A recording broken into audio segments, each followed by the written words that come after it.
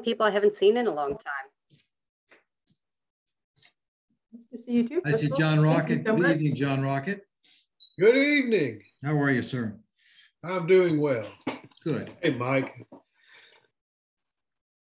Kristel, it's been a long time since I've seen you. I think several projects ago. I know. It's good to know that we show up at the same place at the same time. Yeah, I think we are.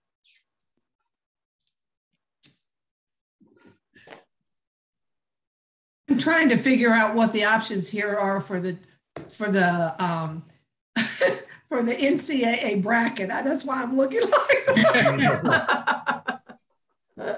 Diantha, just, Sorry, just, I'm just- dealing with really important things, as you can tell. Priorities, priorities. despite the recent loss to Virginia Tech, Diantha, I would just pick Duke all the way, so. go ahead. Carolina, sorry, Mike. Yeah. Uh, But they, it came across in the, anyway, it is, it is what it is. It's kind of funny. I'm gonna put it away now. Denounce members go carbon neutral. One car, zero carbon footprint. More at aspiration.com slash credit. Aspiration Financial LLC. Like somebody's watching the news. Clients' needs without the distraction of outside shareholders. More at Baird Different Stack. Would it be a good idea at this juncture, Mike, to also mention to people to maybe keep themselves on mute if they're not? Sure, Kip. Yeah. Talking. That'd be great.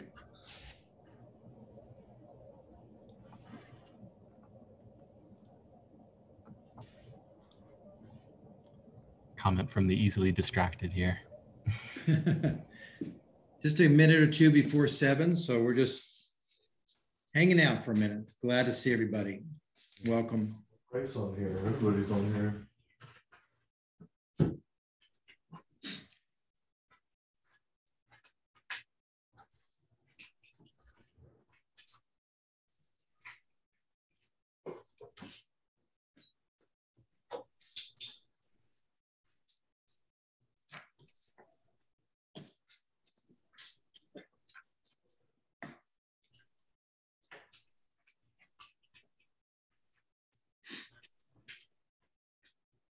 Your top dream come true. Nice. Welcome.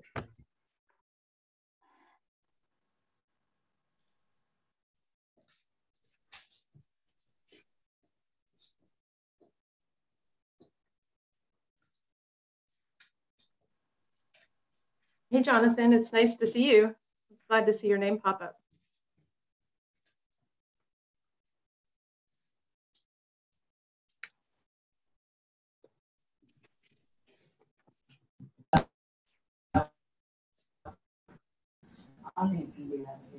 Hello.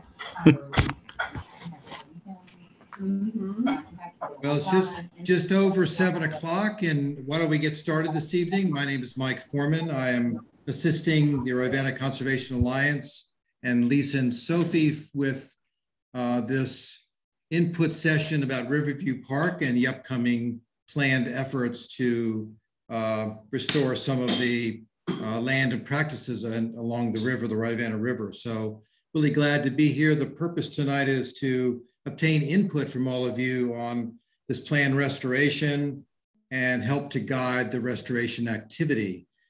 We are graced tonight by a number of notable uh, people here. Uh, Supervisor Donna Price, Supervisor Diantha McKeel. I don't know if Ann is here. Ann Mallek is here. Not sure. I thought she was on the invitation list. Uh, I also thought that um, didn't haven't seen uh, Mayor Snook here yet either, but they are have signed up and hopefully will attend attend here soon. Really, also um, very much thanking our facilitators who agreed to carry out some work later this evening in breakout rooms and obtain some of this input from you. And um, thank you for your service and effort to restoring the river and and uh, working on it with us. Um, what I'd like to do now is just, if you would, uh, introduce yourselves in the chat. There's a lot of people on board now, 34. So if you don't spend a minute in the chat box, if you're familiar with Zoom and that effort, if you just introduce yourself, maybe what organization you're from, and uh, let people know who and where you're coming from this evening, that'd be really great. I will now uh, uh, turn it over to my friend Kristel Riddervold. Kristel, if you would offer a welcome for us and opening remarks this evening, and just spend a sentence or two introducing yourself for people who may not know who you are. So I'll turn it over to you, Kristel.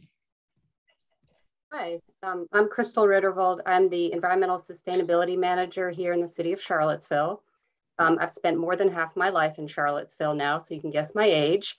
Uh, double who grad, uh, worked in the private sector and joined the city of Charlottesville in the early 2000s. So I've been watching a lot of um, the evolution of environmental stewardship in our community. Um, like many of you, I've enjoyed spending time at Riverview Park, and I've wondered if and when some of the conditions that I've seen might be tackled. And some of those conditions are riverbank erosion, damage to river access features, invasive plant species, and the steep banks that limit or prevent getting down to and interacting with the river. Basically, how do we play in the nature space that we have in our backyard? The city recognizes the Rivanna River as an important waterway flowing through an urbanized corridor and one that has a rich history from our Native American friends to the enslaved people and the transportation corridor that that river presented itself. Riverview Park, which is situated with the Rivanna Hu River hugging its eastern border, serves as a unique place and space that offers many opportunities to our community for taking in nature, re recreating, and exploring our collective backyard. In the recently completed Urban Rivanna River Corridor Plan, the primary objective for the future of the river corridor is environmental protection and stewardship. One of the related recommendations in the plan is to identify and implement riparian river restoration and mitigation projects. How do we fix things and how do we build in ways to deal with the impacts that are there, including, among other things, the stabilization of eroding stream banks in a manner consistent with natural systems. We're excited that Rivanna Conservation Alliance was successful in obtaining grant funding through the National Fish and Wildlife Foundation for an eff effort focused on just that in Riverview Park, exploring, prioritizing, and pursuing options for addressing the various challenges and achieving some real benefits for the environment, the park's ecology, and the community your input regarding what we what you see in and what you know about Riverview Park is an important part of this project and will uh, inform the follow-up work to deliver a technically feasible restoration project, like one that we can really do and that makes sense. So again, thank you for taking time to come tonight. The city has enjoyed being part of the process to this point, and we look forward to continuing our collaboration with RCA on this project. Thanks, Kristel. Very well done. Appreciate your effort here. And I wanted to uh, also point to uh, uh, Lisa, you may uh, want to, if you don't mind, putting up your slide about the agenda. I can also do it from the Google document, but if you have it handy, that'd be great and share your screen for a moment. Great, job. Thank you. If you could, uh, yeah, are you have an agenda slide? right there. Excellent, thank you. So tonight, for tonight, as mentioned uh, a little briefly earlier, we're gonna uh, have a couple of presentations uh, from both Lisa and Kip Mumaw of Ecosystem Services. And then we're going to move into uh, some breakout rooms in Zoom and entertain four different questions, which we'll get to in just a moment. I want to also point to the chat box for those who are or Zoom aficionados, and I've placed a Google Doc link into the chat box. And I've opened it up for access for everybody. You should be able to access that, although I've been telling everybody Murphy's Law will come into play at some point uh, today, uh, this evening. But that Google document link will be our breakout room tool tonight, but also um, has the agenda in the uh, first page of that. So um, thank you for that, Lisa. And I'd like to now go back, if you'd stop sharing your screen, I'd like to go and conduct a couple of polls for you. So we're gonna entertain input from you right away. I do welcome Mayor Lloyd, Lloyd Snook. Welcome, sir, to this meeting tonight. Thank you. And um, let's go to our polls. And I'm going to just come up and do a poll and I'll launch the poll. And the, uh, the question is, question number one, in the past year, how often have you visited Riverview Park? And the options, I go most days, most weeks, four to 10 times a year, one to three, and I didn't visit the park at all this past year. So if you would entertain uh, this poll question for a few minutes, thank you.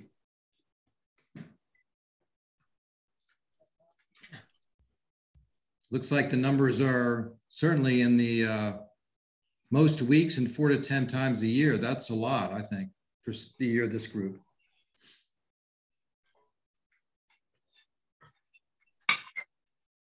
So we should have 42 responses to this, if you don't mind. We've got 24 right now, about halfway there.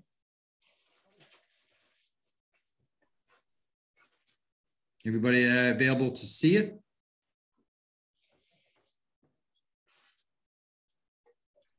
Okay, looks like we're completed pretty much. Um, so I'll stop sharing this particular poll, but basically the responses are in the middle. Uh, very few did visit at all and very few visited most days. So kind of a bulk in the middle, which we expected anyway. So the highest percentage was four to 10 times a year. So I think that if you're reflective of the Charlottesville community, that would uh, that was quite a bit.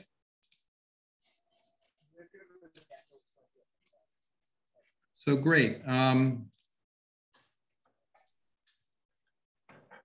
stop sharing. I want to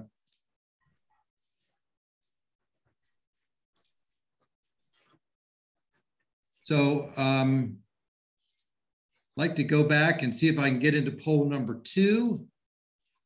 And um, the question for this particular poll says, what activities do you do in Riverview Park?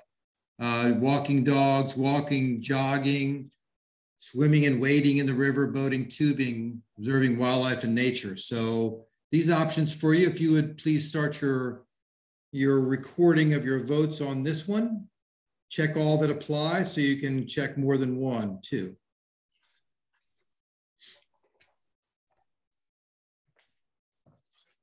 Walking and jogging seems to be a clear favorite.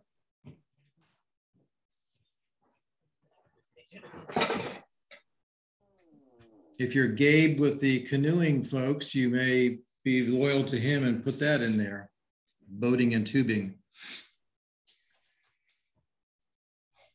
Well, 29 people responded clear, clearly a lot of popular activities at Riverview Park and really appreciate your voting. That gives Lisa and staff a nice measure of what's uh, what people are uh, accomplishing and doing and enjoying in the park situation. So thank you for that. Let's turn now, if we can, to our first presentation for the evening, which is from Lisa Wittenborn, our Executive Director of the, of Rivanna Conservation Alliance. And Lisa, if you would add a sentence or two on your introduction and then get to your presentation, that'd be wonderful. And thank you for being here.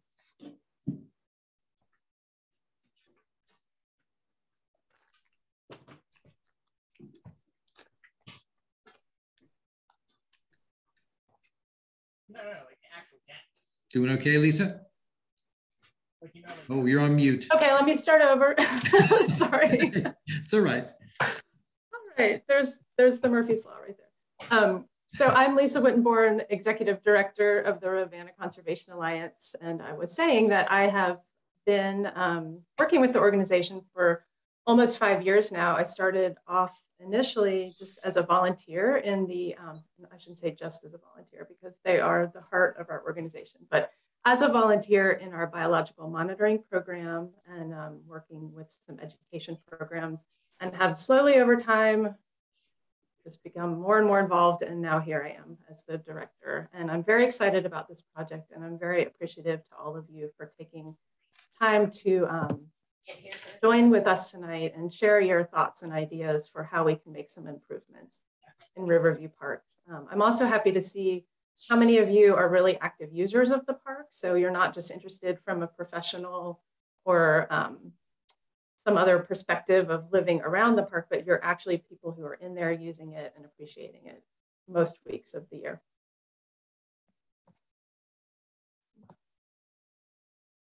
slides are not advancing. Are they are they changing for any of you? They are not. We're stuck on the agenda slide. Okay, there we go. That's there you go. All right. So I like to start off almost every presentation just reminding everyone where we are. Um, we are in the Rivanna watershed. Um, the project that we are talking about is in Riverview Park, which is on the east side of the city of Charlottesville, kind of right smack in the middle of the watershed.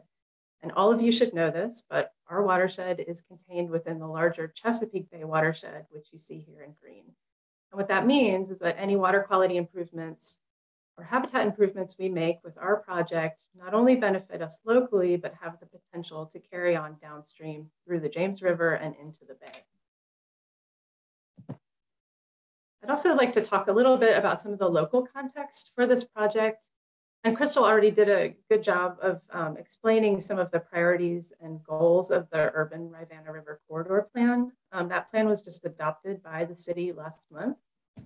And in implementing a project at Riverview would really go a long way towards um, promoting some of the goals in that plan. Um, the water quality improvements that could come from a project at Riverview would also go towards supporting the TMDL action plan for the Rivanna River, which is focused primarily on reducing sediment to improve the biological health of the river.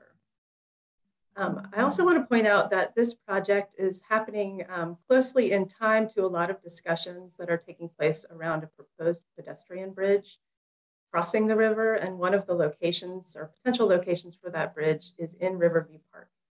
This project is separate from that project. Um, they're not connected. And in fact, if the bridge is to cross at Riverview Park, um, it will actually be in a slightly different area of the park than what we are talking about. Um, it is our hope, though, that if we implement a project and a bridge does go in at Riverview, that some of the um, stabilization benefits of our project would also benefit that project. Um, I also want to acknowledge having been part of the stakeholder committee focused on that bridge project, um, that there are some serious concerns among some people who live in the Riverview neighborhood in Woolen Mills about overcrowding in the park and parking issues. And um, those are really important issues, and we are hoping that they can be addressed, um, but they are kind of out of the scope of our project today, which is really focused on improving the environmental and access conditions on the riverbank in, in the buffer. Uh, Lisa, in the chat box, Roger Toll indicated that your voice is coming in and out a little bit. Maybe it's your audio of sorts, but just letting you know that. Okay, thank you. I, well, I'm not sure what I can do other than just talk more loudly. Um, okay. Sorry. It's okay. Um, so I want to give a little bit of background on where this project came from. And it really started in 2019, um, standing on the banks of the Rivanna River with Kip Mumaw, actually from Ecosystem Services. Um, I had asked him to meet me there um, because we'd been hearing a lot of concerns from people in the community and observing issues ourselves where the riverbanks were really deteriorating in a lot of locations. And this was coming on the heels of those record rainfalls and flooding events that we had in 2018 that I'm sure a lot of us still remember. Um, so we were standing at the boat access. I was asking him questions that had been asked of me about what can we do? How do we, how do we get some projects going to try to fix some of these problems? And we were looking specifically across the river. I don't know how many of you have seen this, um, but there's an area right across from the Darden Towe boat launch where erosion had washed away so much soil that the sewer line was starting to become exposed. And the Rivanna Water and Sewer Authority had to come in and do an emergency repair with riprap. And totally understandable that they would need to do that. But the question was, can we anticipate where problems like that might happen and be proactive about fixing them so we don't see the riverbank covered in riprap. Um, so we decided to apply for a grant from the National Fish and Wildlife Foundation that would focus on helping us prioritize and identify restoration needs in the river corridor. So that project, the Rivanna Prioritization Project, really focused on five miles of the river corridor, starting at the confluence of the North and South Forks and going all the way down to Moores Creek. And in the process, we collected a lot of data, including on erosion and other environmental conditions, location of utilities and things like that, um, to help us figure out where there was a restoration need. And we also worked with stakeholders to develop some criteria for prioritizing those projects based on potential. So we ended up with a list of prioritized projects. And part of that process was also to identify one potential location for a bank restoration effort. So we walked out of that project with this ranked list of potential locations for, for um, efforts to improve bank conditions or riparian buffer conditions. And the next step was really to start talking with the owners of the parcels in that corridor that were ranked high. Um, and it became clear that some of the projects we could get started on right away. They weren't bank stabilization projects. They were more things about improving the riparian buffer. So for example, we just completed a nine acre um, tree planting in the Dunlora community. Um, this parcel was ranked number two on our list. And we worked with the James River Buffer Program to um, pay for all of those trees that went in there. It was almost 3,000 trees. Um, and we put those in in December. And we've been working on some other smaller projects here and there as well. But the big project that came out of that prioritization process was a proposed bank restoration project at Riverview Park. And the reason we selected Riverview Park was because it has the potential to generate the most significant environmental and community benefits in one project. It not only would improve water quality and habitat, but it also has the highest concentration of active public use of the river. It is Charlottesville's only public access to the river. And it has so many different important community amenities in the park, the boat access, the trails that clearly lots of us are using frequently, the playground, um, and other features. And there also is the main sewer line still running through the park that needs to be protected. We also felt that this project was going to be the most likely to be successful in bringing together partners and funders to be, act, to be able to make the project actually happen. So once we selected Riverview Park, we needed to decide where in the park we might want to um, focus restoration efforts.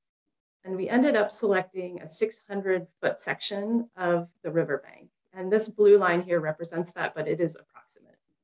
Um, and then we also ended up adding kind of an ancillary project to this bank restoration, which is a stormwater outfall, which is um, here in that orange line, and you can see a picture of it. It is pretty dramatic, and I think Kip is going to talk about that in his slides as well.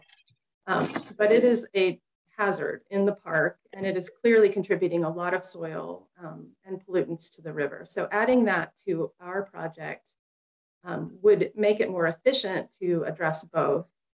And it also would really ramp up the water quality benefits coming from our project and address this hazard.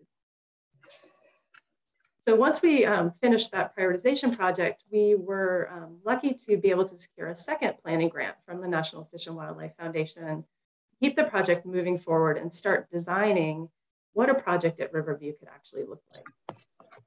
And that's where we are today. Um, this project that we're calling the Rivanna Restoration at Riverview Park Project, or really it's a planning phase that we're in this year.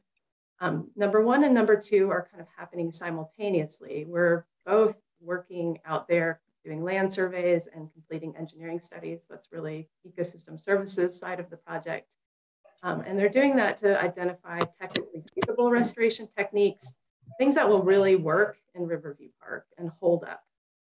And we're also working with the community and partners to identify what types of restoration objectives and techniques are actually desirable to the community. And that's part of what we're doing here tonight is to get your input on those um, topics.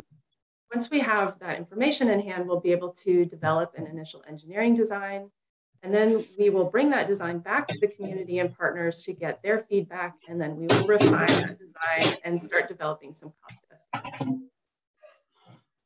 And these pictures, you might have seen some of those blue tags on the trees. That's what they have been there for is the survey work that's been going on at Riverview. Um, so the next steps after we complete kind of this planning effort this year um, are to continue identifying project partners, start raising additional funds, um, finalizing the landscaping and engineering plans, and then actually make the project happen. So I kept my presentation short so there'd be plenty of time for questions. But um, Mike, I was actually thinking it would make sense for Kip to go and then to have all the questions at the end. Sure, at least that's fine. Uh, if we could stop sharing and uh, uh, appreciate that and we can move on to Kip. I think that's a fair idea. Either way would work great. Um, and also just a reminder that um, if you got an open microphone and you know it's getting noisy where you are, if you would mute uh, for us, now, you know, during our presentations in particular, that'd be helpful for everybody to hear. So we'll now turn to Kip Mumaw. Kip, if you would uh, share your screen and also talk a little bit about yourself, introduce yourself, and then move into your presentation. Thank you, sir, very much.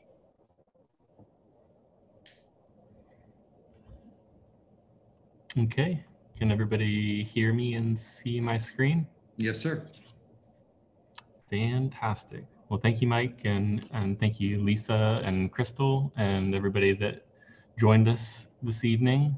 Um, my name is Kip Mumaw. I'm the principal engineer for Ecosystem Services. We're a natural resource consulting firm based in Charlottesville, Virginia.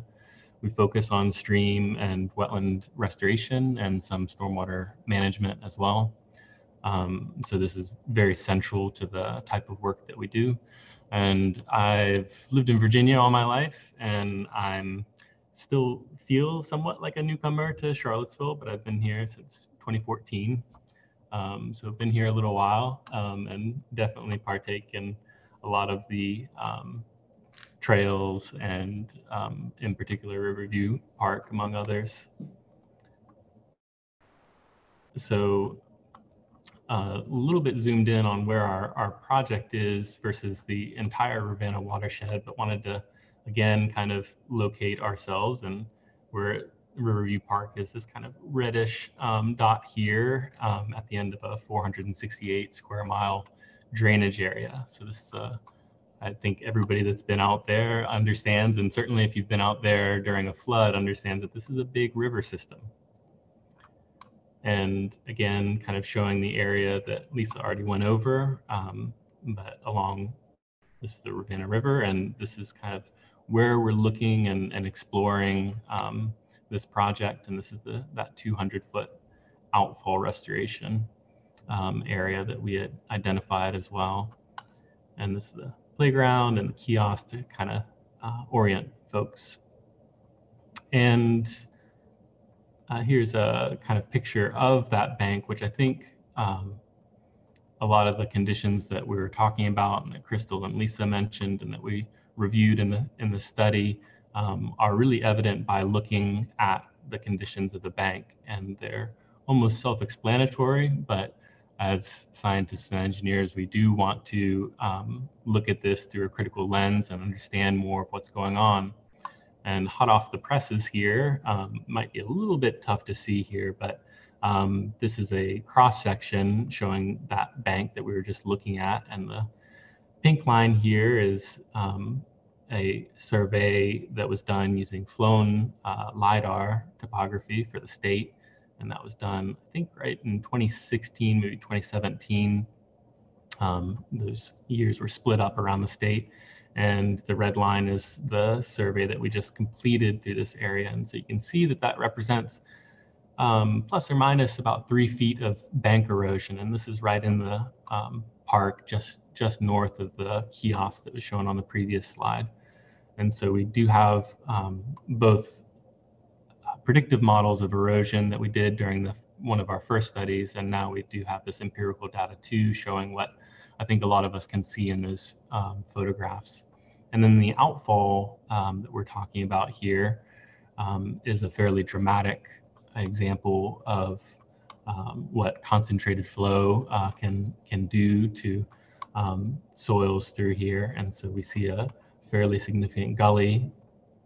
And just as a comparison, although the resolution for smaller channels isn't always great for these um, LiDAR uh, evaluations, it did seem pretty good. And so you can see again this pink line, and we have about 10 feet or so of uh, vertical degradation of the channel. And so I think uh, a very dramatic uh, cross-section view there that we can see. And so why is why is this happening? And there's no one answer to that question. Um, I think it is important for everybody to understand that this is not a unique situation. Um, we do see this uh, throughout uh, Virginia and uh, honestly throughout throughout the world. Um, we see river degradation of this kind, and there are a lot of different factors that are leading to that. One is the watershed itself. Um, so when we have changes in land cover and historical activity in the watershed, um, those those changes can precipitate um, the conditions that we see today. So we see the loss and degradation of riparian forests along the corridor. Um, obviously, uh, for, first and foremost on a lot of folks' minds um, when we get these heavy rains is, is there a change in the precipitation patterns that we're experiencing?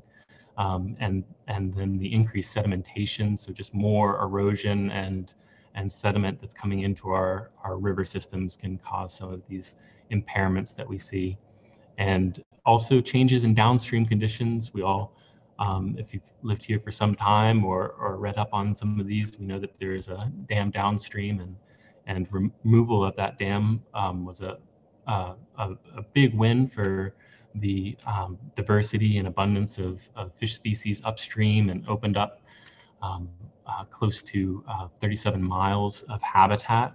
Um, but it can also uh, create some um, additional pressure and stressors on the stream banks.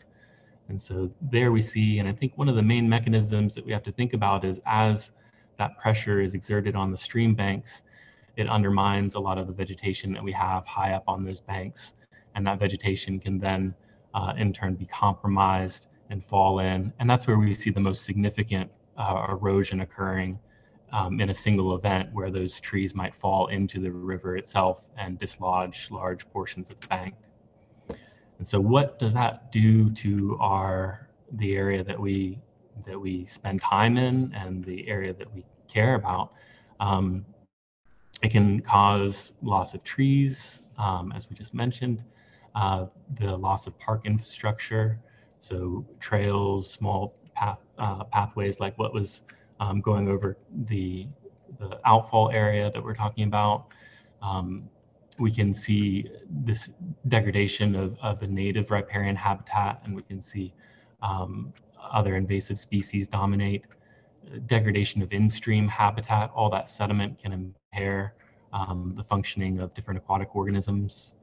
And we see that bear out in a lot of the monitoring that has been conducted by DEQ, RCA, and others.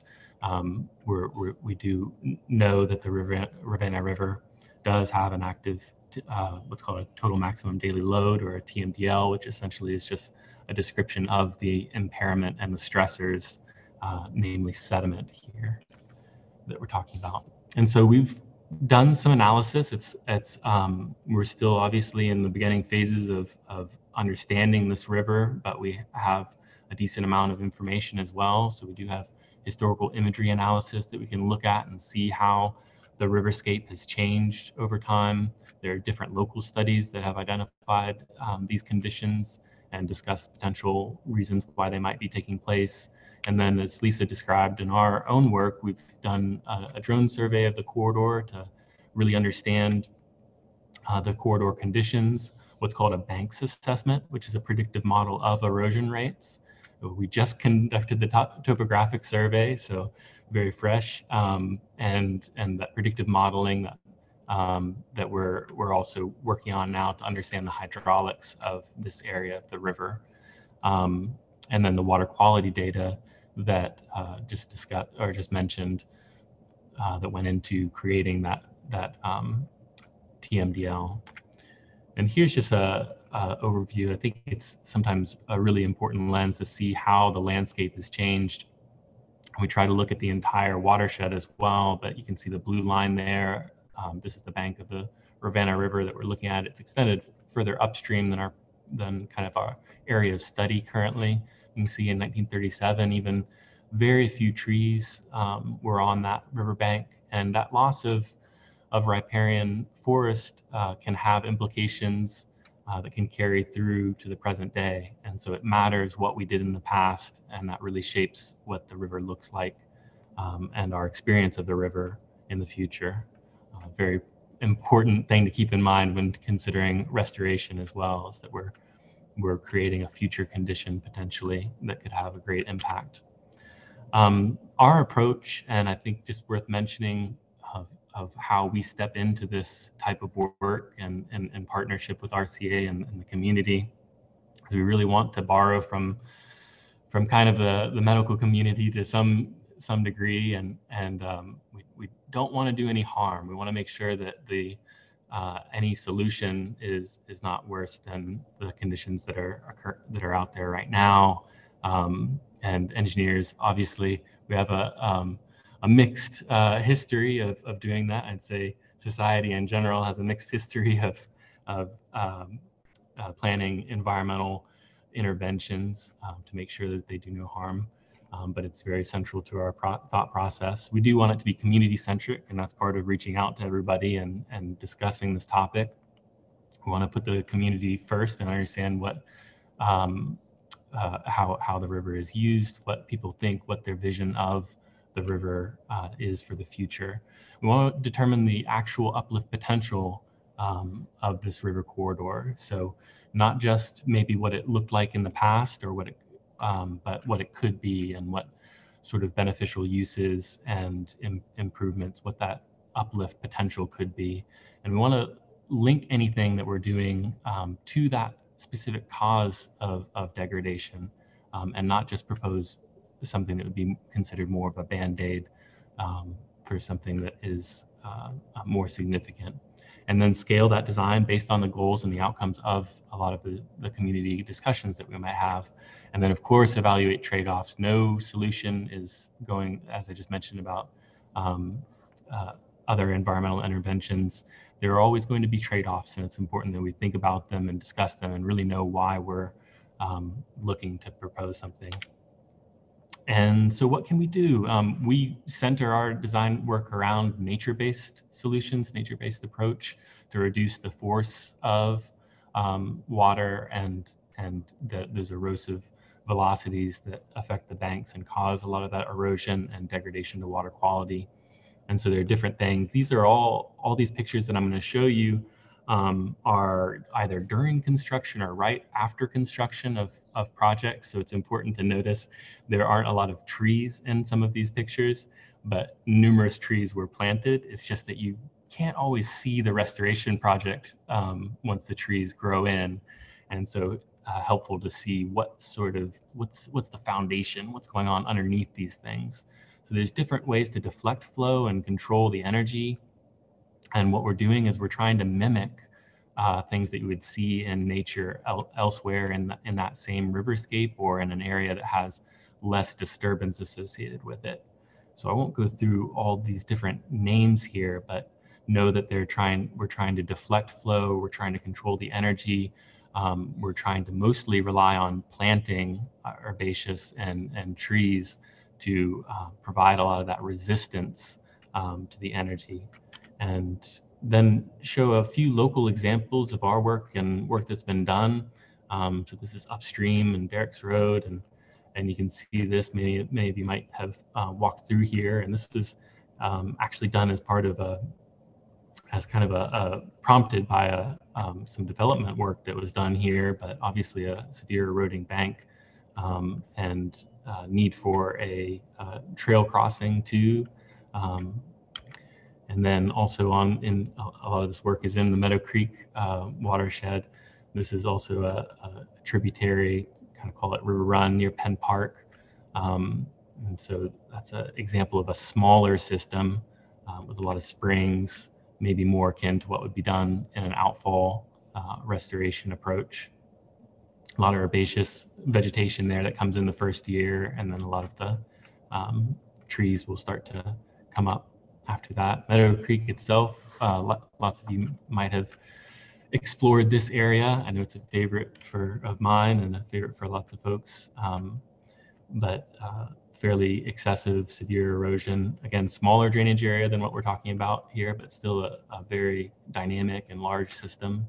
And here's a, a, much larger system than the Rivanna River, but it's in the um, town of Elkton. And this is on the South Fork Shenandoah River. A picture there of the eroding stream banks on an outer meander, and then what it looked like after construction. Um, again, before a lot of the, the um, trees have, have taken off. And here's just a picture of kind of that process that you see here. So this is an example of a bank stabilization technique. Again, not proposing that this is uh, identical to what would be done in Riverview Park, but just an example of what can be done. These soil lifts are constructed and then vegetated um, heavily, and then there are these um, what we call uh, kind of deflection um, vanes that go out into the river and actually help deflect some flow around this bend. Uh, Linville Creek in the town of Broadway is another project that we did, has a similar kind of condition here. And um, we did use this a, a, same technique here, but without the um, without the the vane arms in the in the river, and essentially just again trying to meet the the river where it is and understand how it functions, and then propose a solution that will function long term to the best of our ability to predict. And this is, again is kind of the progression here. A lot of the before pictures starting at the top, left to right, and then during construction, they almost look like stair steps there. That then you can see as the vegetation starts to come in, you you no longer even see that. It's um, more vegetated corridor. We like to say if we do our job right in some settings, it, it looks like it was just natural and, and how it would have been um, had that initial disturbance not occurred. And I think that's about it for time and maybe we left a little bit of additional time for questions. Thank you, Kip. Uh, if you would stop sharing your screen for us, that'd be great.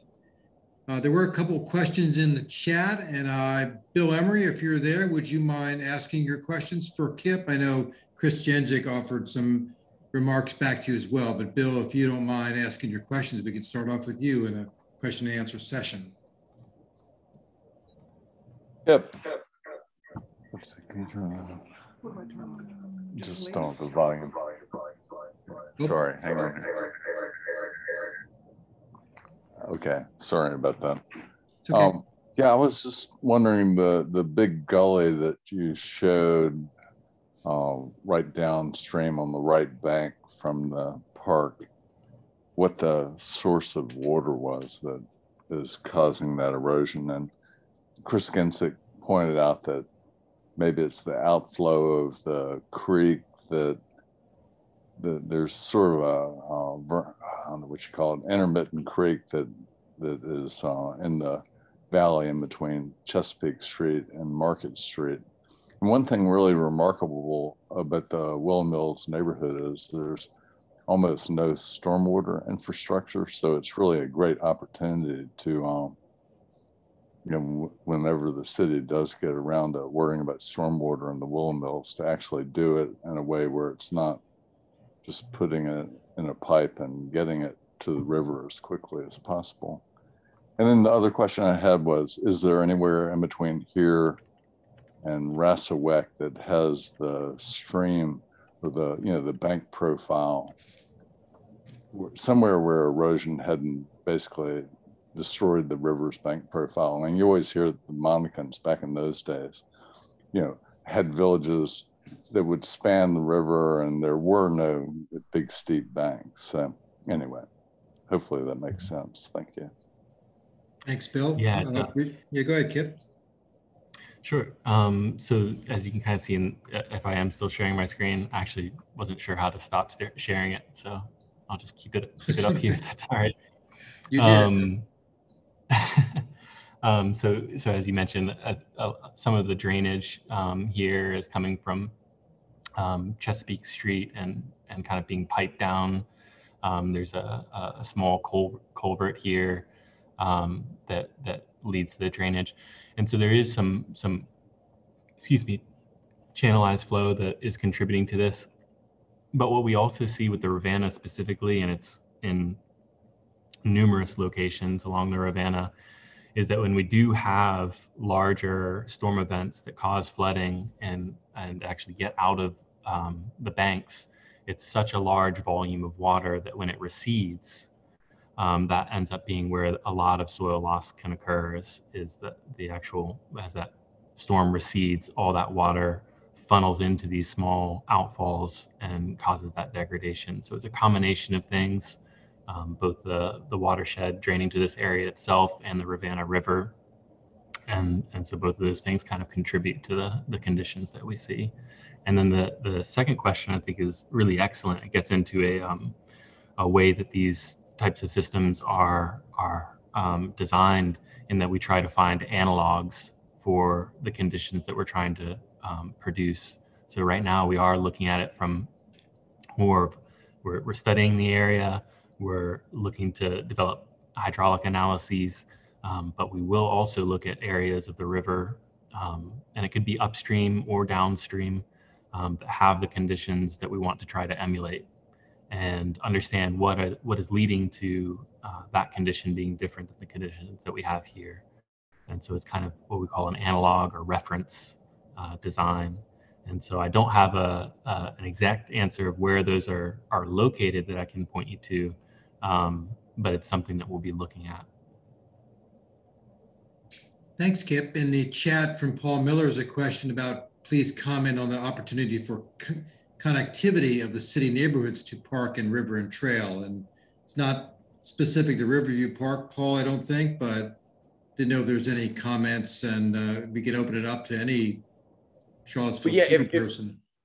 Yeah, no, if, if you don't mind, uh, can I just throw a, throw a 20 second out there and then please go ahead. Mind if I, yeah, yeah, yeah. So, so number one, there are uh, my thanks and my appreciation. There are loads of people on this call who've given a lot of blood, sweat, and tears, and I commend you for your volunteer time. There's also loads of crazy smart people on here. I have I have zero technical knowledge on this, so I am absolutely coming at this from just some dopey guy who lives up the street, you know, up the hill from River uh, Riverside Lunch, and you know, my neighbors and I go and walk and, and, and walk and enjoy the park. So you know, I had an opportunity um, as Martha Jefferson neighborhood. We're an adjacent neighborhood. Um, we're basically High Street, East High Street, and sort of up the hill. And um, and then adjacent to us is our sort of our, our, our friendly sibling, Little High Street neighborhood. That's more of sort of the Meade Park area. And and then of, of course our folks that are over in the Woolen Mills neighborhood. And those would seem to be the three um, most local neighborhoods um, in the city that are that are involved in in the park and i had an opportunity to walk our neighborhood and down towards high street with our new nds director from the city and and so we're trying to have a lot of conversations about um, integration of city planning and fixing sidewalks and crossing streets and things like that. So my point here is I'd love love to find a way to make getting to the park via pedestrian and biking and pushing strollers and pushing a wheelchair how do we make it more accessible from the neighborhoods from north downtown little high street woolen mills martha jeff how do you cross east high street how do you get behind jack and yeah. jill's how do you get over there so that's that's what i would challenge and and, and hope that the city can take a leadership position on accessing the great work that you guys are doing.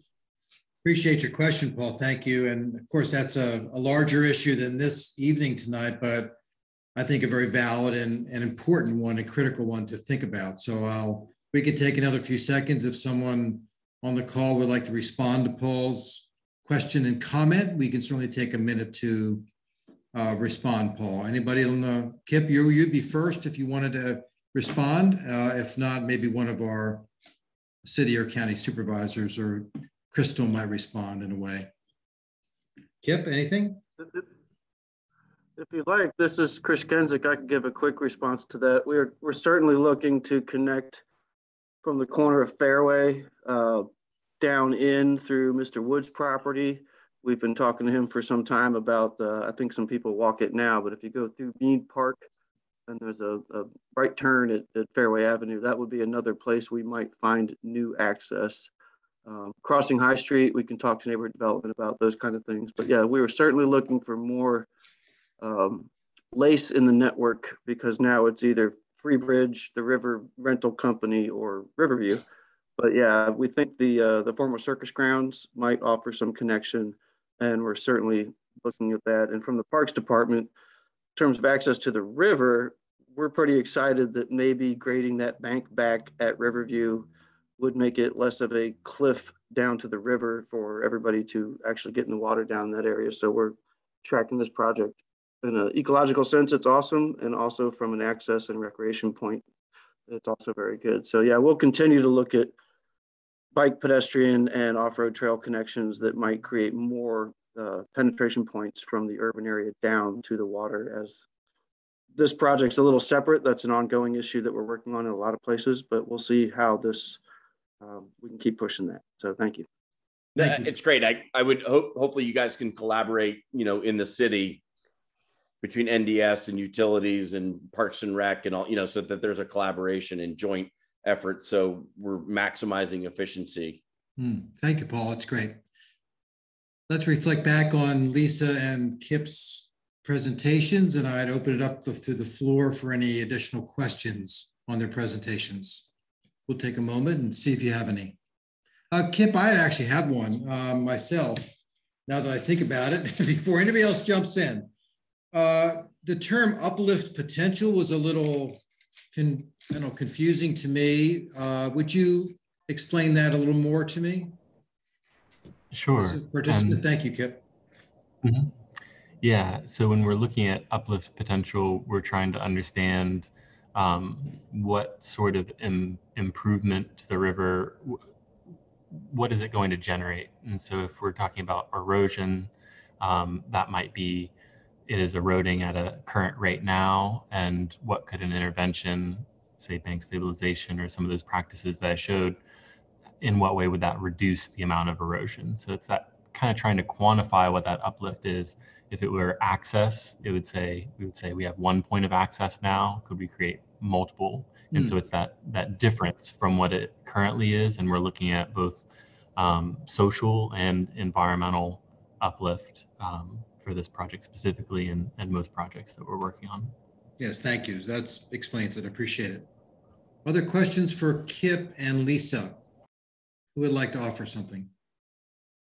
I'd like to ask Kip a question. I had a chance to ask him this before the meeting, but um, when you showed the bank profile and how that had changed over time, could you um, describe what rate of erosion you actually discovered there? You showed the profile, but I don't know that you gave out a number. Mhm. So, um, so I think uh, If you want to I'd like share your do, screen though- again, Kip, you're welcome to. Oh, okay. I thought I was still sharing. Down at the bottom, you can hit share screen. You should be able to share. There you go. Okay. Um, get to the right slide here. Right. And so what we're looking at is is about three feet, um, sometimes more, uh, sometimes a little bit less, depending on the area that we're looking at, in about five years. And so that's a erosion rate just over that time period of about 0.6 feet per year. Um, one thing to take into consideration, because you might hear those types of different annualized erosion rates, that's not an annualized erosion rate. That's just over those um, five years. So sometimes you might hear uh, of an area that's eroding, you know, one foot per year. And if they were ta- did an erosion study, that would be more of an annualized rate that would say, um, not every single year is that occurring, um, but overall the erosional processes um, kind of in a long-term projection equate to that. And so even though this is 0.6 um, that's fairly significant given the rain uh, that we've had over those five years. Um, so we we might even expect um, that the erosion rates, if it were annualized, to be uh, potentially greater than that. Thanks.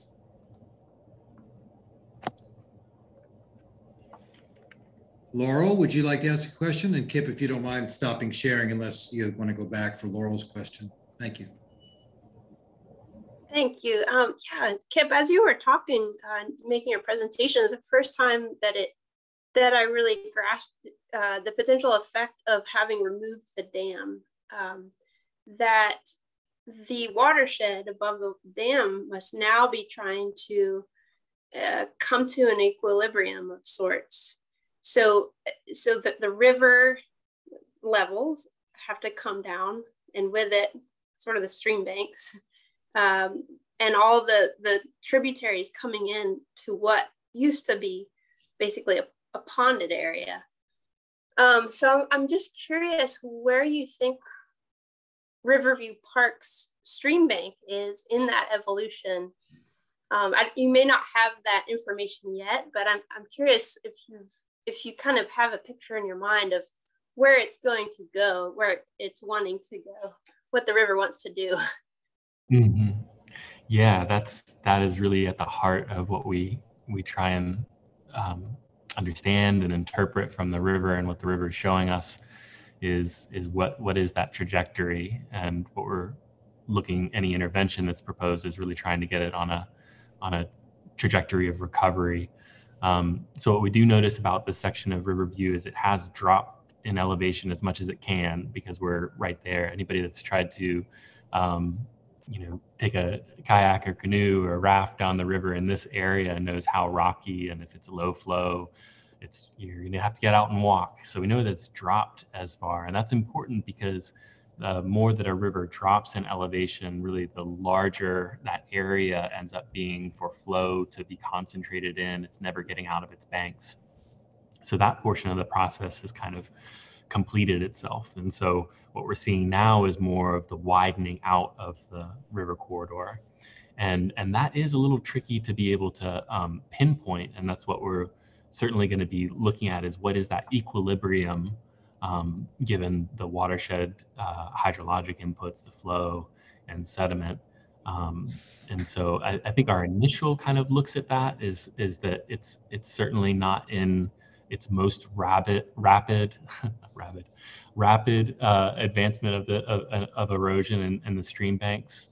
Um, but given kind of these results of the of the survey, we can still see that it's it's it's very active er erosion. Um, so I don't have a specific answer in terms of you know 2040 it'll it'll start to equilibrate and kind of have chosen its uh, the width of, of the channel it's going to be functional long term but that is uh, uh, an outcome of of what we're looking at through the design process is what is that width um, a good catchphrase for for river restoration is is that you just you you want to give the river room. Thanks, Kip. Good question, Laurel. Last chance for any questions before we move on to our next task for this evening. Anyone? There's one in the chat, Mike. Oh, okay. Thank you. Uh, the question reads, how many, if any, of the of the trees can be saved during this process? It Takes a long time for newly planted trees to grow.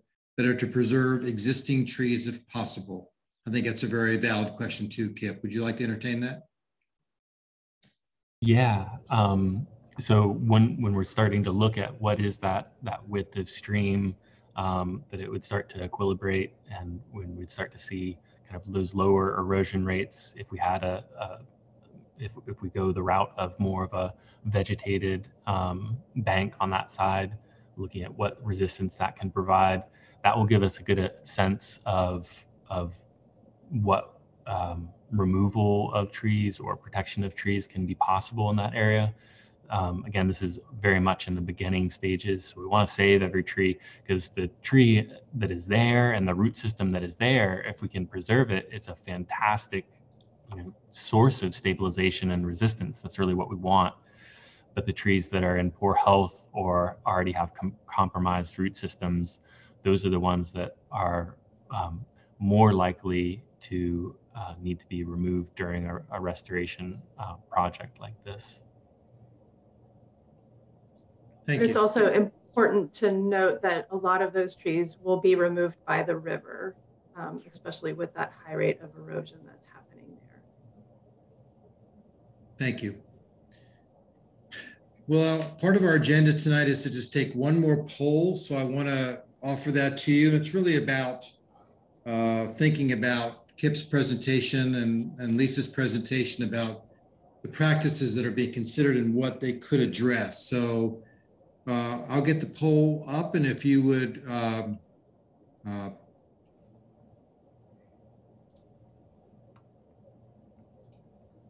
if I could get to what I want to get to, that would be um,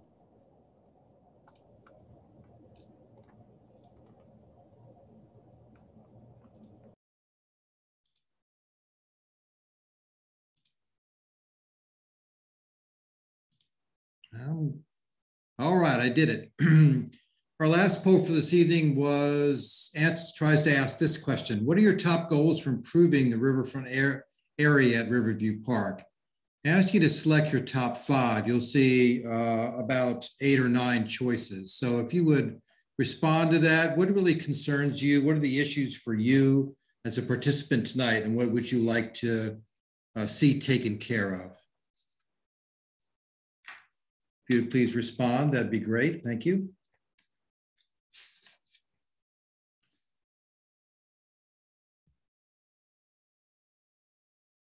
So water pollution, invasive plants, or and river access are top vote getter so far.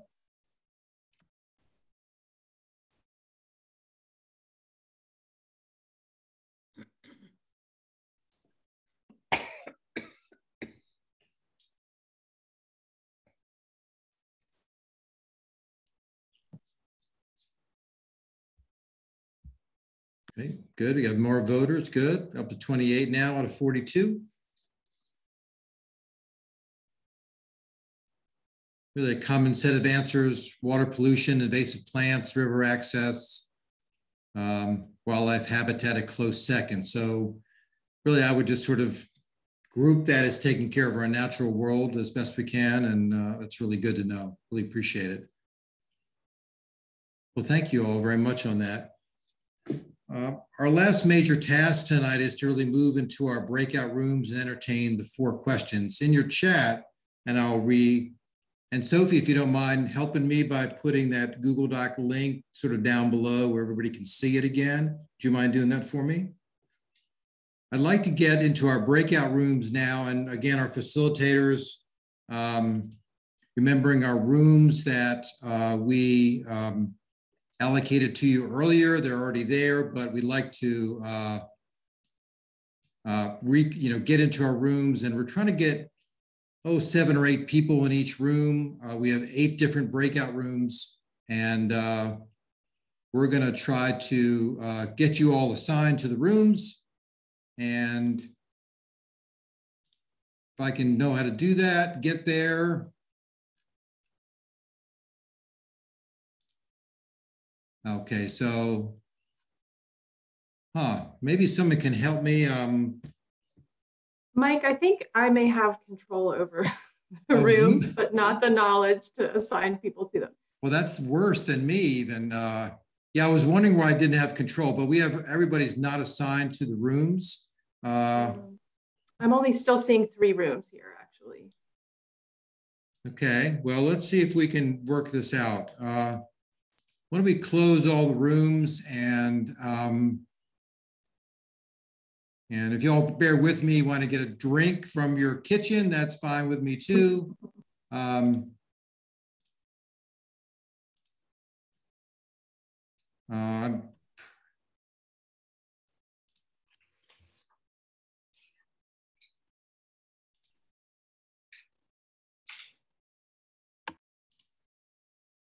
Okay, we're going to create eight breakout rooms, uh, sign automatically and recreate it. Okay, you should be uh, receiving a message, and let me talk to the facilitators for a moment. Just want to make sure you're, uh, it looks like you will be in a room, uh, may not be the one you assigned to, uh, but you're in there with a correct number of people. So we're gonna, um, boy, that just, huh. I did have it assigned there a minute ago. I'm only seeing three rooms still.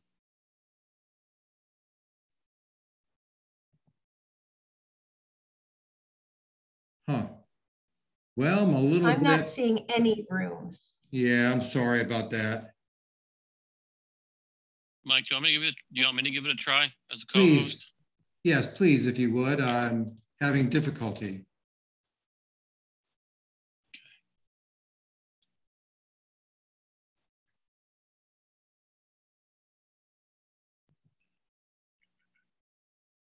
Open all rooms.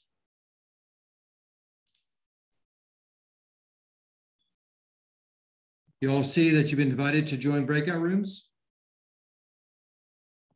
No. Hmm. It's It doing still just something has three. wacky.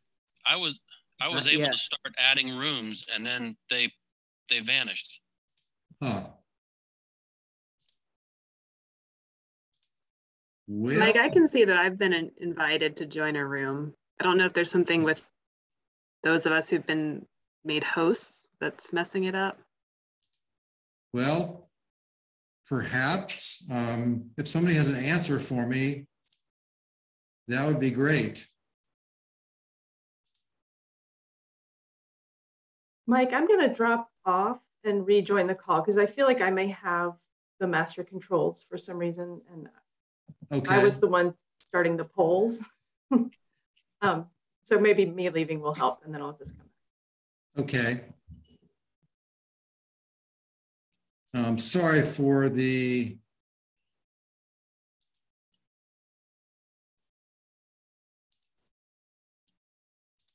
for the confusion. Well, um, let's switch gears because I don't want to keep people either waiting. If we're having a technical issue, I have done this before and I'm a little bit uh, confused on why it's not working for everybody, but um,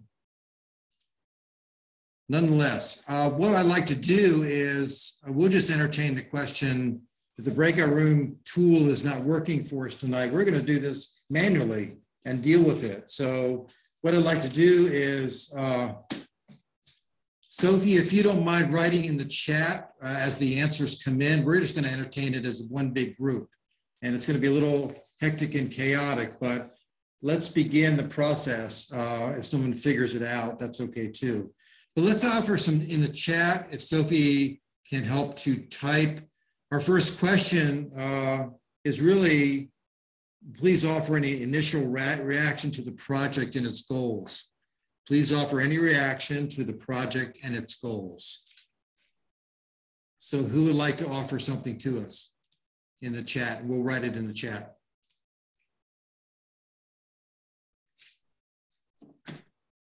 Offer any initial reaction to the project and its goals. Do you going to find this helpful to you, helpful to the city, not helpful, damaging in any way, not damaging? What's your viewpoint?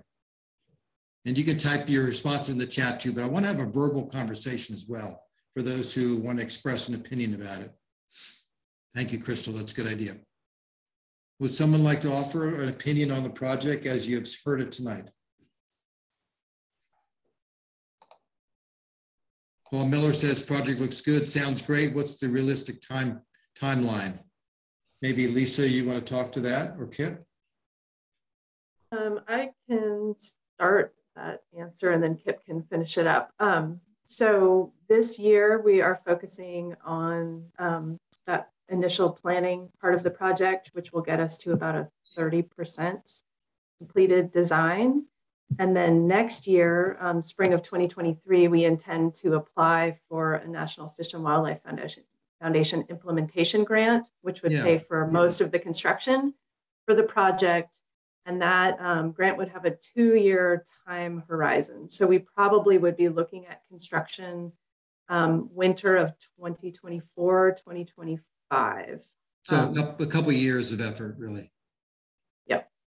Kip, did I get that right.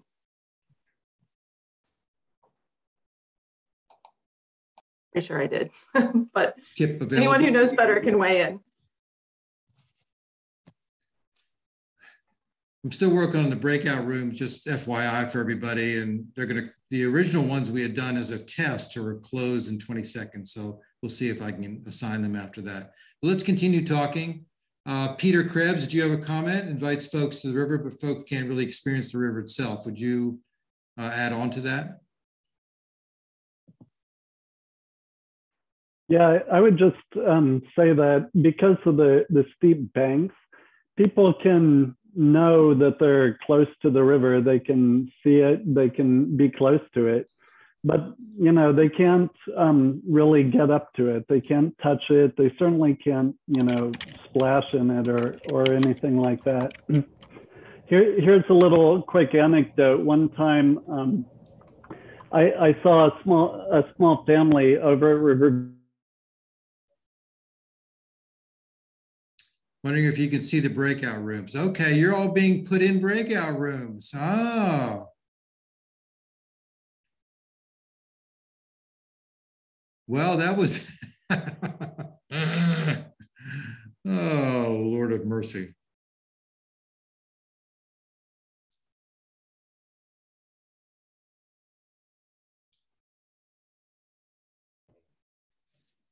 Hmm.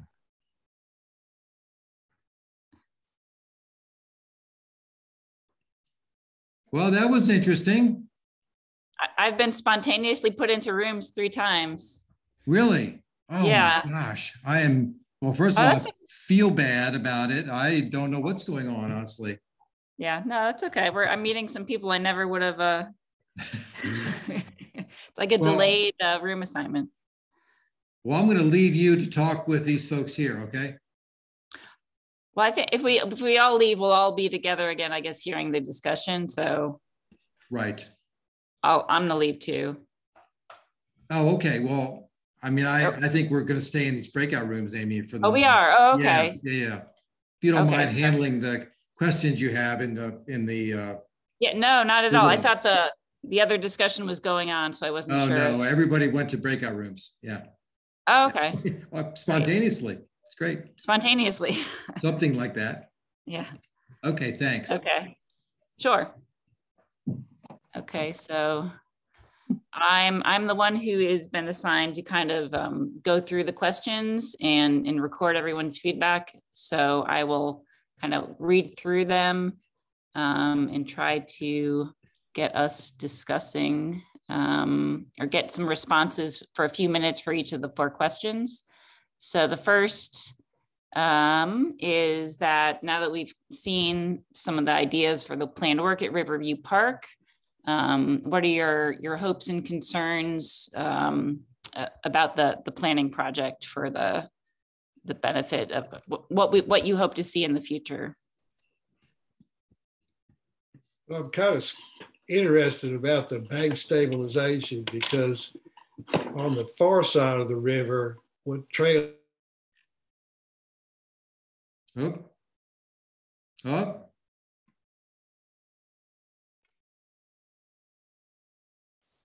Oh, boy.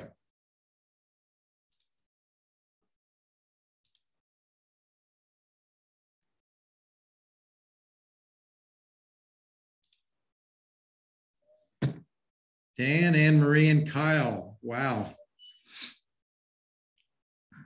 Hi, Marie. Hey, sorry, I think I got kicked off and then tried to come back No, on, I- I may have lost my room assignment. I, if I knew what was going on, I would tell you, because I don't.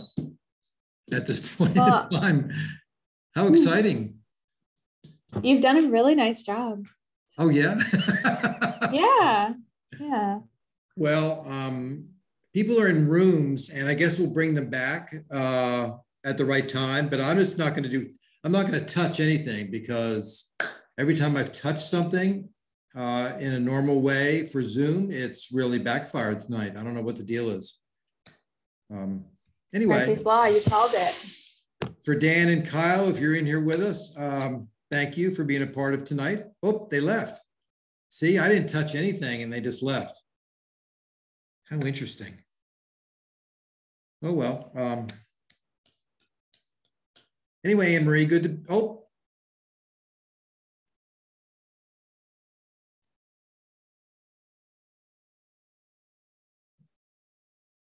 Wow.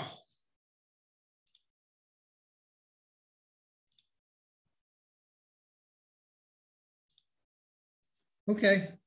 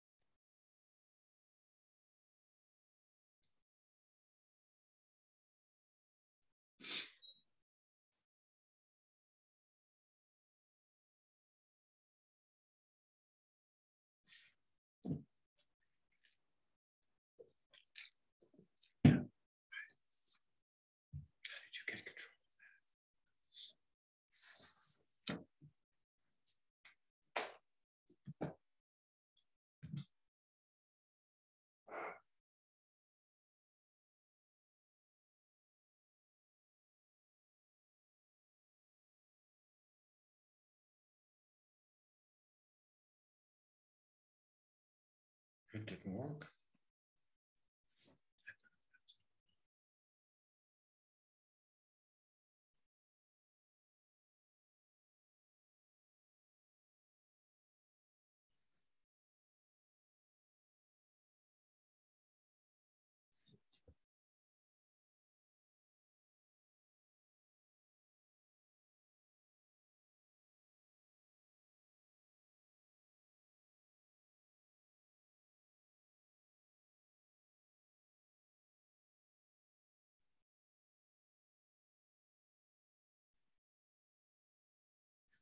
Oh, well.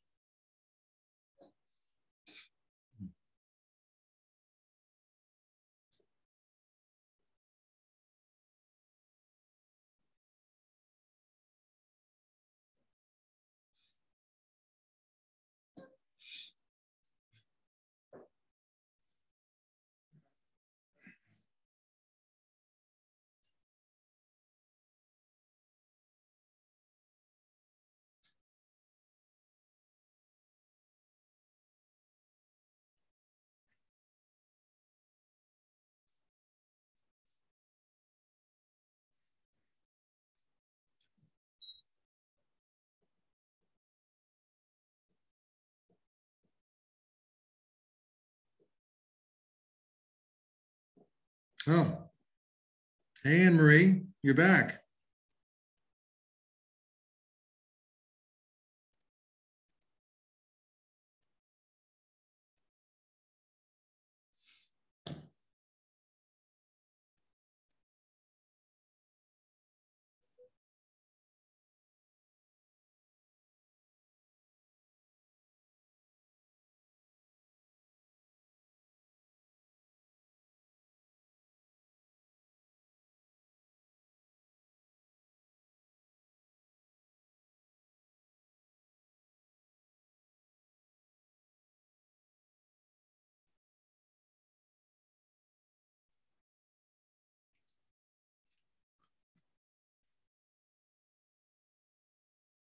Oh,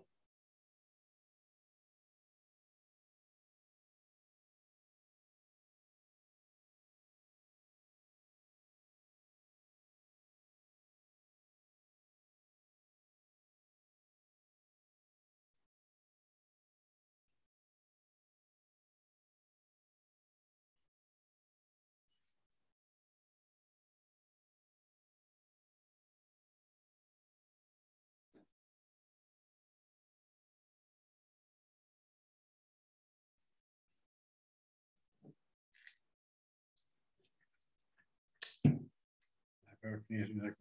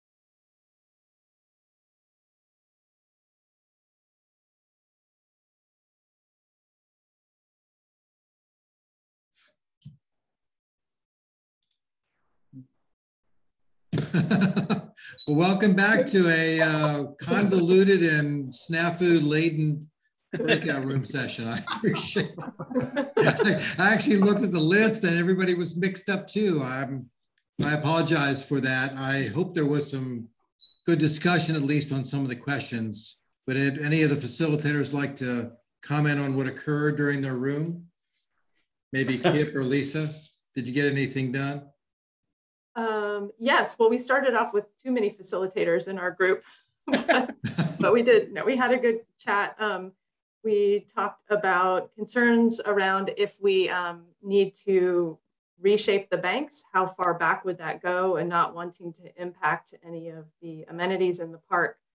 Um, but also noting that the sewer line really uh, provides a hard stop for that effort and um, not sure what that means in terms of what angle of bank we could accomplish there. Um, Yeah.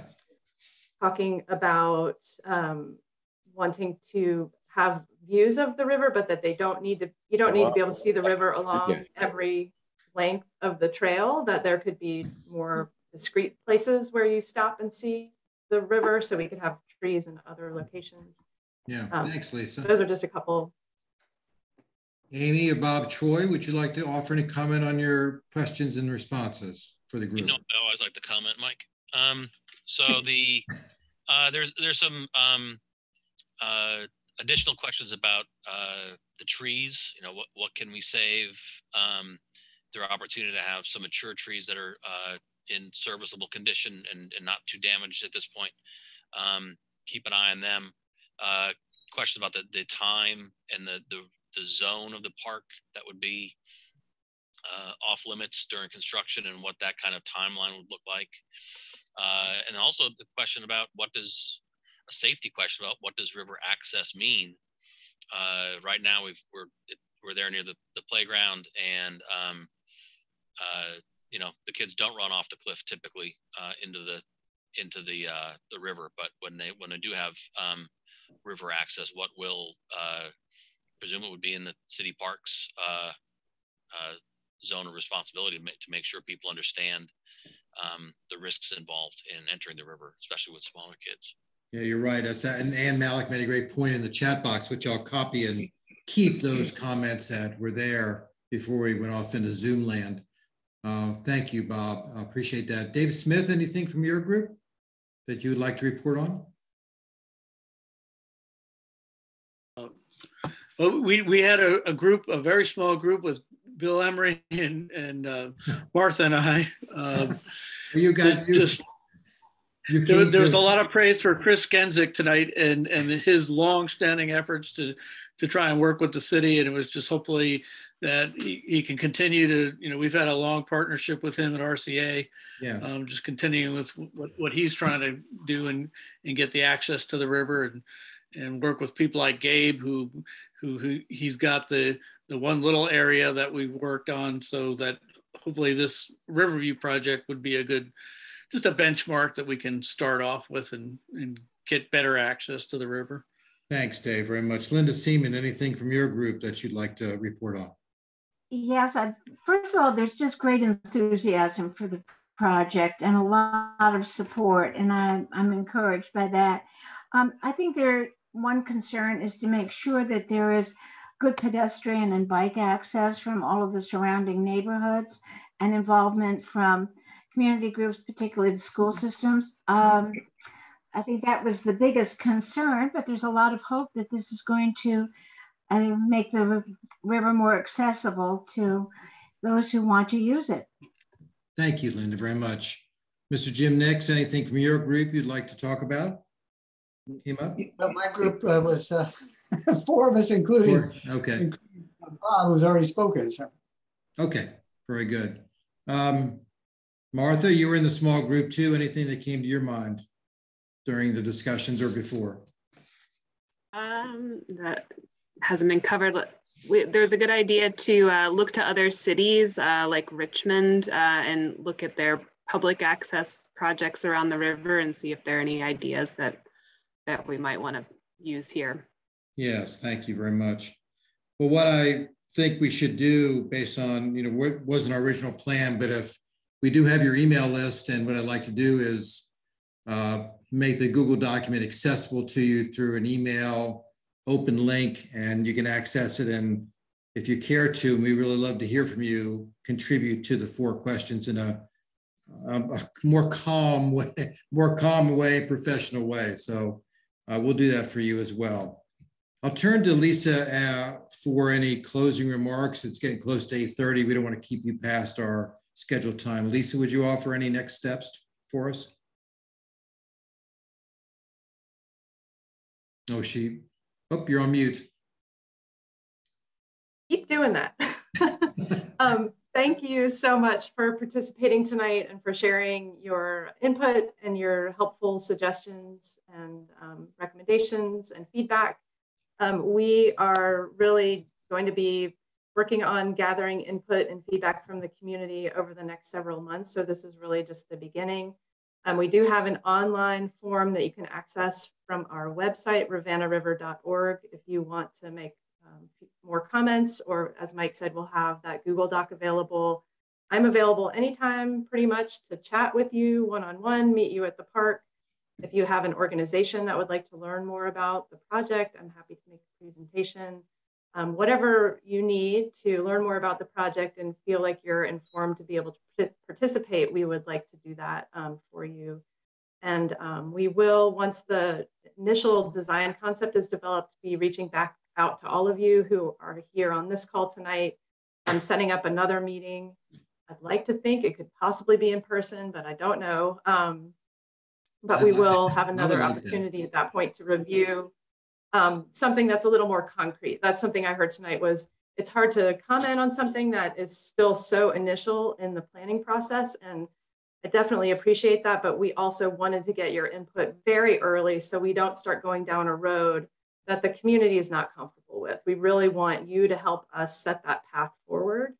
And I think you've helped us do that tonight. So thank you very much. My thanks to Kristel Riddervold for sure for opening remarks and our welcome. Thanks, Kristel, for your thoughts and comments. Really very much appreciate it. So you'll be hearing from us. My apologies again on the Zoom zombie world that we just went into a little bit. I also have no idea what happened, but I'm looking forward to hearing from my group to see if anybody had any insight to that. Um, but thank you, and uh, we look forward to seeing you soon. And following Lisa's comment, hope it's face to face and uh, we get to see each other and be with each other. So thank you all for the evening tonight and for your comments and input. And the RCA folks and anybody else uh, in the, our group want to stay for a minute, I'd love to hear some comments from you. So thank you. And Have thank a good you. evening. Have a good Thank evening. you, Mike, for facilitating the meeting and setting this up for us. It's been very helpful. Oh, thanks so much. Uh, appreciate it. Bye-bye, Thank everybody. you. Have a good evening.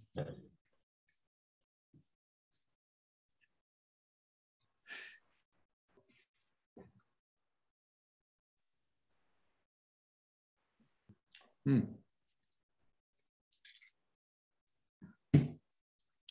Who's remaining? Kyle's here, Jonathan Several. Harris. Well, um, I have no idea what happened on Zoom. Does anybody else? I'm sorry that happened. That was that was horrible. there's there's We made it work. Yeah, we got it. We got it done. Yep. I have a, I, I I have heard of some um interesting uh web browser and um web browser version snafus. Oh yeah. So some, if, if folks have not been keeping their browser updated, um, there's been some interesting glitches coming through, and not, and not only on Zoom, but on a, on a number of things. Yeah. Yeah, because I didn't even touch the breakout room button when you all disappeared. So I don't know. I swear I didn't. I was like, I figured it out. I don't know if it was, I, it could have been we had too many co-hosts. I could have confused it or something, but There were only four of us, four of us in our group, but we had the voice of Bill Emery there too. So You had, how that worked. you had plenty of conversation then, Jim, I guess. Yeah. We had No, I- four and one was Kristel, so, you know, we had an expert. Where did everyone go? Because we only had a few people in our room too. I think there were a bunch of groups. Group one had like eight or nine people in it, and then one group had four in it, and that was never the plan. So I, again, I'm Who knows? Martha, this could be my like ten thousandth Zoom in two years, and I've never had that happen before. anyway, I don't want to belabor it. I think we did get some information. I'll copy the chat as well. And Lisa and Sophie, if you want to help me, I will send out the do Google Doc to everybody and they can, you know, take some Mhm. time to comment. That's certainly easy to do. So anybody else want to offer any comments or thoughts on the evening?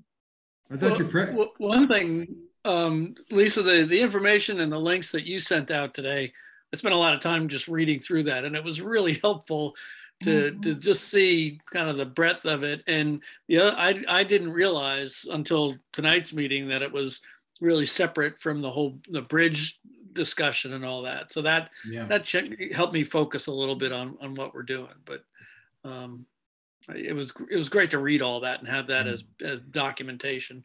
I You wasn't as up to speed as I ought to be. Yeah, I I read that stuff as well, and it was really helpful. I, I was learning some of that for the first time. It was good. Likewise, likewise. And now I'm very excited about the project as a result of reading all of that. Oh, good. Thank you for taking the time. It's a lot, a lot of stuff there. Oh, that's guess- okay. I guess my question, just being the harbinger of future co- future issues. I mean, the trees and other projects I know are an issue. You know, taking trees down in order to make it stable. It's sort of a little bit counterintuitive. So there, I was curious if there are any like really negative comments about the trees coming down, ra- other than what we heard. Any, anybody? Um, this is Jonathan. Oh, go ahead. Jonathan, go ahead. I was just gonna say, um, these, you're, you're gonna have to take down a bunch of trees probably if you're cutting back the banks. And like somebody stated before that those trees are gonna fall in anyway, eventually. Yes. Um, you could also, depending on the project, you could use those trees within that project to stabilize banks, uh, like toe wood and stuff. Yeah. So if if that could be a selling point that you know they're going to be used and potentially used in the project too.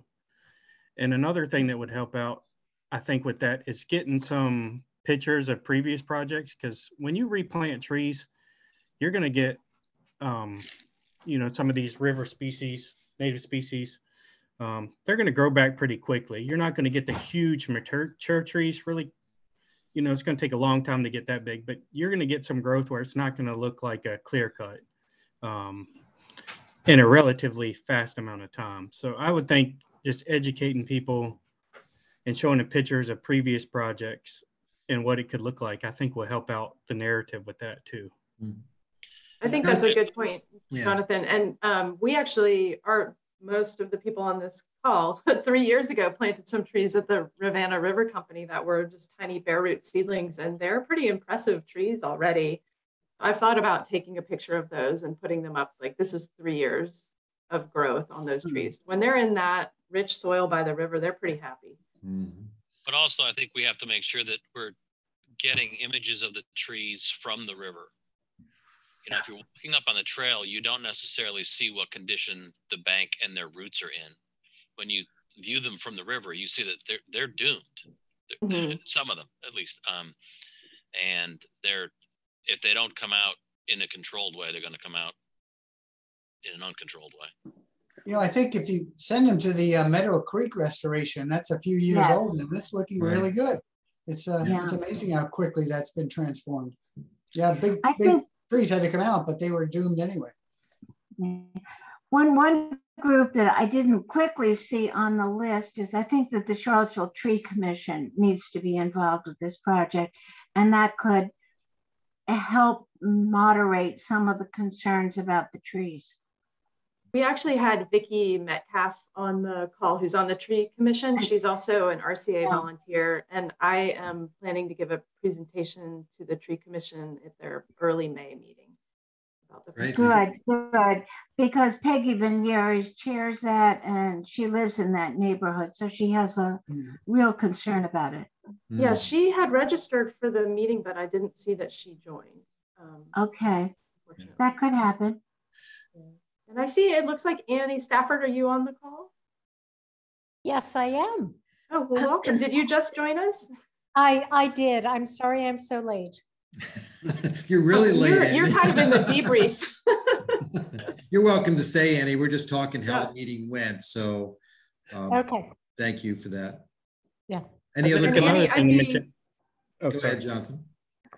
I think another thing to mention too, if um, with the tree situation, is if the banks aren't stabilized, the trees that are falling in are going to fall in, but you also have the potential to lose more trees in the future than you would with the bank stabilization project. And your engineers should be able to tell you um, how far those cuts are going to have to go back and the potential for erosion, how much more that could take in, um, with future storms. Um, you might be able to get kind of that potential, you know, um, pros versus cons thing from the engineers, just to let people know that if nothing's done, then you have the potential to take a lot more trees than than if if you just stabilize the banks now and take a few trees. Thank you. That's a good point. Well, I don't want to keep you on a, on a Tuesday night. Anybody else have anything they'd like to add before we close for the evening? Lisa, anything? Um, I well, just- first I, I just wanted to say I thought Lisa's presentation was really, really good and it's Yes. and that Absolutely. it was very helpful. even Having read the materials that you presented it very um in a really under, understandable way, and it, it came across very, very well. So Agree. sorry, the first minute was muted. it makes you like everybody else. So And the slides didn't work, so, you know, just, you started off the bad luck for us. but- Yeah, it's my fault. And actually, for all the Zooms I've been on, I thought this went pretty smoothly. So um, Let me just tell you, Linda, did not go them work and smoothly. Oh, Um, I think. Mike did a great job. Well, that's, that's kind, but uh, I would not agree necessarily with that, but thank you. No, Mike, I, I really, really appreciate you doing this Oh, for you're us. welcome. No worries. What, what a, a help. I mean, really, it took so much weight off of my shoulders coming into this meeting, knowing that I didn't have to try to figure all this stuff out. It was, and you were very thoughtful about helping put together the agenda and making sure the meeting was going to run smoothly. And Uh, I That's, really that's appreciate all of kind. that. Look, I always like to help, but um, yeah, maybe we'll have somebody else do the technical stuff. I just have bad karma tonight. I don't know, but um, it's good. Uh, good that we made it through and there are certainly comments in the Google Doc and in the chat. So we'll use, the, I'm sure we can use them, uh, Lisa, in your grant, grant work. So, Yeah, definitely. yeah. I think the lesson is don't, don't do a practice uh, breakout, just I think it, yeah, yeah. create that- the eight I- or nine you need at first. I, I agree with you, Jim. Yeah, that's probably was one thing that caused a snafu, sure. Okay, well, uh, Lisa, you and I talk in a few days and I get you some information. The recording, I'll send you the file of that as well. The whole thing was, re- the whole snafu great. was Yeah, recorded. There were definitely some people who wanted to, um, who couldn't participate, who wanted to. And um, Annie, if you would like to chat after tomorrow or something, please just get in touch with me Oh. since um, you missed most of the meeting. I'm sorry. You're just catching the debrief. Probably Oh, learning more. Thank you. Lisa, I'd, I'd love to do that. I'll, um, I'll email you. Okay, sounds great. Okay. Good to see but then everybody. Uh, Go ahead. I wanted to just make one point and say, first off, thanks for starting to take on this project. It's, we need a lot more of these.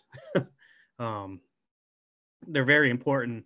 And I want to make sure that, you know, this, you're talking about local stuff tonight and local community, but make sure that you outreaches to the larger community. You know, this is a Chesapeake Bay issue too. So mm-hmm. you need to make sure that you know that education's out there you know how many the amount of sedimentation that you're that this project can help keep from going into the chesapeake bay and it can hopefully help get larger cooperators throughout the the watersheds down to the bay so i just want to make sure that you're emphasizing not just the local but a larger scale picture and, and i think that would help with getting cooperators involved Thank you, Jonathan. Thank you. I appreciate you joining in tonight. Um, oh no problem don't thank know- you so much Uh, if you don't know Jonathan Harris, he works, he's a fisheries biologist with the Department of Wildlife Resources and um, really worked very closely with Rachel to put together that fish study that really we helped them with in 2019. I remember that. Yeah. Yeah, and that's as a fish biologist, that's the biggest thing we're seeing. One of the biggest things we're seeing in our river systems, our natural systems, is loss of habitat due to sedimentation. Due to sedimentation, so that's kind of the the hidden pollutant that nobody talks about. Nobody, everybody sees it but doesn't think it's an issue, um, except for the people that are really out there studying it and looking at it. So it's a it's a big time issue, and that's why I, I want to say it should be emphasized more of what this project can do and future projects can do, not just to the for the park area and the local section of Rivanna, but all the way down to the Chesapeake Bay. Mm Thanks. Well, I'm good if you're all good for one night. I think I've had enough for the day. I'm ready to ready to call it a day. You get a drink now, right? Yeah. Yes, thanks a, everyone. It's a little late, but thank you for for that. And thank we'll talk, you we'll everybody for helping. Yes, thank you all. See you all soon. Yeah, thank you all. Bye bye. Right. Night. Bye.